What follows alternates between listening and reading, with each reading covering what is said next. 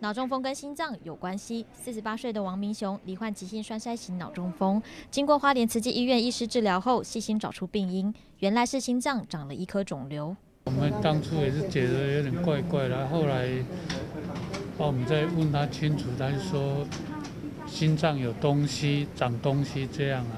左心房七公分大的黏液瘤产生碎片及血栓，是造成患者中风的原因。经过医师评估，使用达文西微创手术取出。达文西的手术对于这样的病人来说，它是一个更合适也安全的一个方法。他已经在这个中风的情况之下复健、复健啊，哈，各方面已经很辛苦了。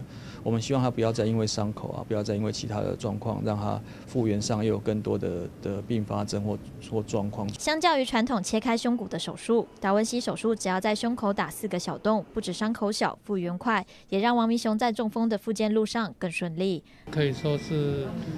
全世界 可以说最小的伤口，那其实他也蛮幸运的，能够碰到张医师。除了感谢之外，还是感谢。